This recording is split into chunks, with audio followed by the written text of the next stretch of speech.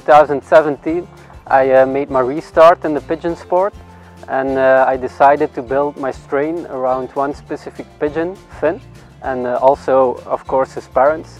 So uh, at the total auction in uh, 2017 I was able to buy my Finn back in the auction as well as the parents and uh, I told two of my best friends, Philippe de Mazeneer and also my brother-in-law Davy Nering, to buy at the auction the daughters of Finn because the price would be good and I thought in the future when I have my Finn back they will also be good with the daughters.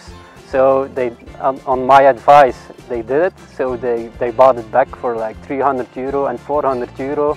Um, the one daughter uh, with Philippe de Mazeneer became uh, the mother now in 2020 of the first national ace pigeon the famous Finman uh, and the other hen uh, became the best breeding daughter, uh, the best breeding hen of my brother-in-law, Davy Nering. So uh, it was very good, nice story.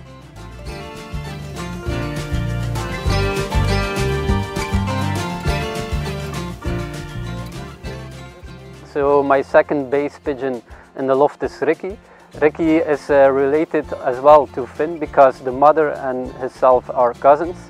Um, Ricky was my first national ace pigeon since I raced with the pigeons in 2014 and he was also very successful the years afterwards. So he was three years in a row in the top uh, six in the PIPA ranking on the long distance races and he also fly week after week so four seasons in a row. So he did like every year like eight or nine thousand kilometers that he won prize one out of ten.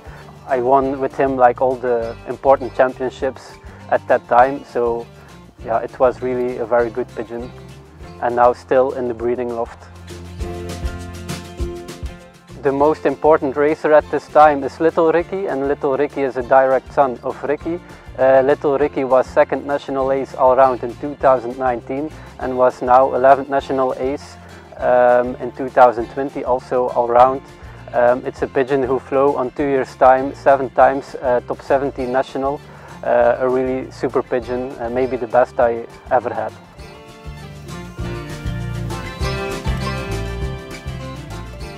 So another very important pigeon in my loft is Tetske.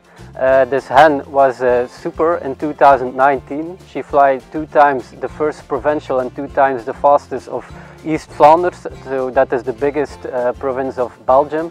So two times the fastest of uh, more than 6,500 pigeons. So normally uh, a fancier would uh, not raise this pigeon anymore the year after, but I decided to do it uh, because I was thinking uh, this pigeon can win a first national.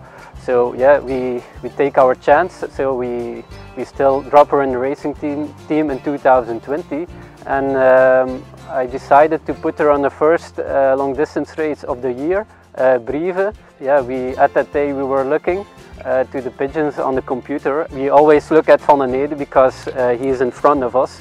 So yeah, Van den Nede was superior that day. He got three pigeons very early. So and then we have to count. So we counted like seven, eight minutes and then she was here like two minutes later. So she was six, seven minutes ahead of Van den Nede. So it was the fastest pigeon that day on Brive and it was yeah, for me uh, a super result. Yeah, it was like a, a story came true.